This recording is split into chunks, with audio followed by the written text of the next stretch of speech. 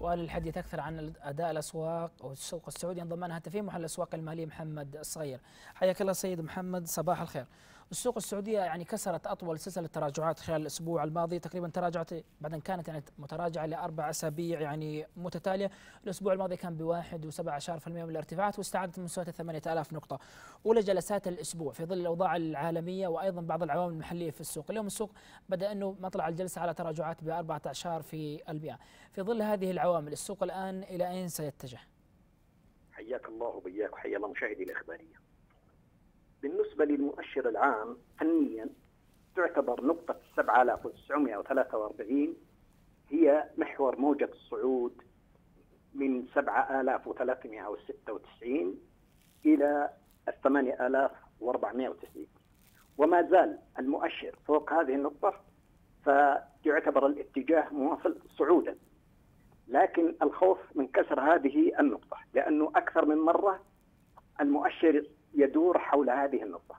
أتمنى بإذن الله سبحانه وتعالى أن يحافظ المؤشر على هذه النقطة. جميل. الآن استمرار السوق يعني يتداول دون مستوى 8000 ويعني 70 نقطة. هل ربما يعني يبقي فرصة عودة الضغوط البيعية بالنسبة للسوق يعني حتى مستوى 7660 نقطة؟ طبعا صانع السوق يدير الوضع الاقتصادي أو يدير وضع السوق نفسه مؤشر العام وتأثرا بالأحداث. سواء الأحداث الخارجية ومرض كورونا هذا فيروس أو بأسعار البترول والتقلبات.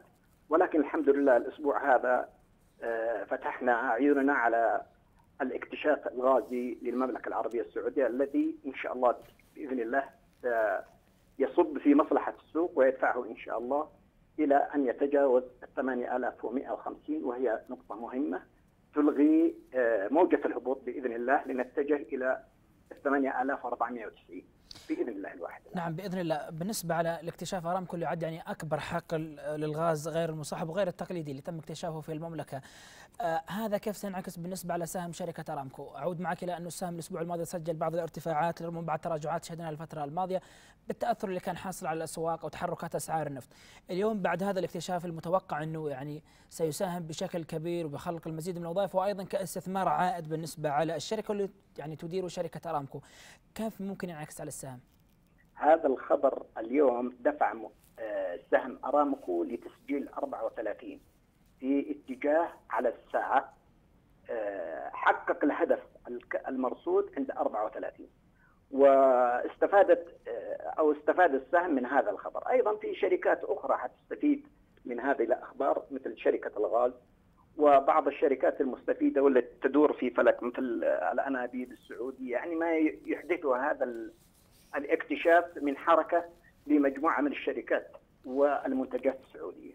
نعم إعلان بالنسبة الحبيب عن سعر سعر الطرح اللي كان عند 5 ريال بالنسبة للافراد وأيضا للمؤسسات واللي تم التغطية بالنسبة للمؤسسات ال 10% الآن معروضة للأفراد.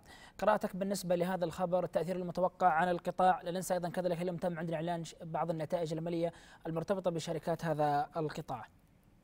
طبعا قطاع الحديد يشهد قفزة كبيرة تقودها وزارة الإسكان والتوجه الكبير لإحلال الإسكان ورفع نسبة الإسكان عندنا إن شاء الله إلى تقريبا 70% بحلول ال 20 30 بإذن الله الواحدة. سيد محمد كنت أسأل بالنسبة على شركة الحبيب الطبية آه سؤالي عن الرعاية الصحية هذا القطاع إذا اين سيستفيد بالنسبة من هذا الخبر؟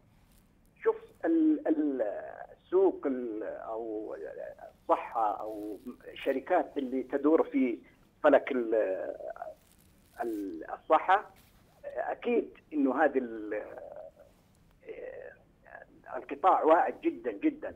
و نعم. ربما في في خطط إن شاء الله القادمة إنه حتكون هناك إدارة للمستشفيات يعني خارج يعني تدير شركات.